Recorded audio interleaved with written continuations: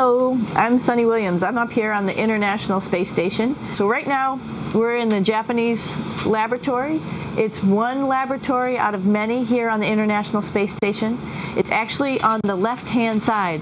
If I was the International Space Station and I was flying through space like this, my left hand would be where the Japanese laboratory is.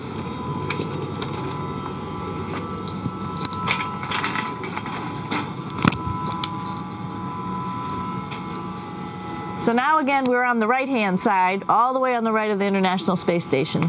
This is Columbus, the European module. It has science experiments all over. You could see it looks a little bit crowded. And here we do a lot of our medical experiments. Here's one sleep station right here. I'm going in right now. You can follow me if you want. So I'm inside. It's sort of like a little phone booth. Um, but it's pretty comfy. I've got a sleeping bag right here that we sleep in so we don't have a, sort of like a little bit of a cover. We don't fly all over the place. Um, but you know, you can sleep in any orientation. I have it sleeping, feeling like I'm standing up right now, but like you saw, I'm on the floor. But it doesn't matter if I turn over and I sleep upside down. I can't have it, I don't have any sensation in my head that tells me that I'm upside down, so it really doesn't matter. So all of us sleep in a little bit of a, a circle. All right, come on back. There's more to show you.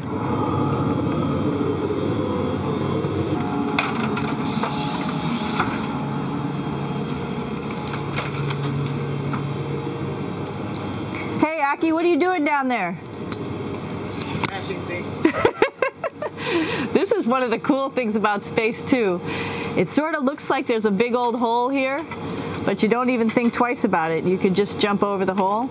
Or if you want, you can go jump into the hole. I'm coming down. Woo!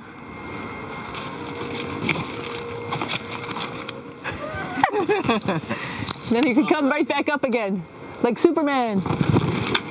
Woo!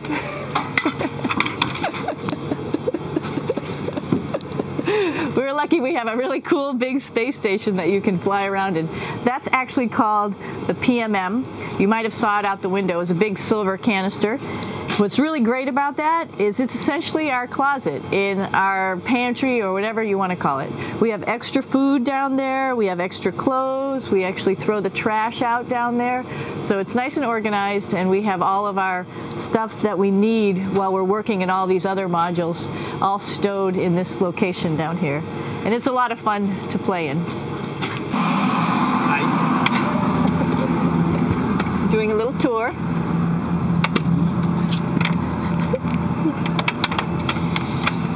This is the FGB, and what's cool about this module, it is actually the very first piece of the space station that came up in 1998. The space station has been around for about now um, manned for 12 years, but it's been up in space for about 14 years. And this was the very first. It is like the Russians' PMM. It has a lot of storage, as you can see.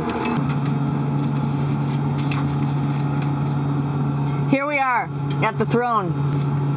And of course, it serves for two functions. Number two, right here. I'll show you.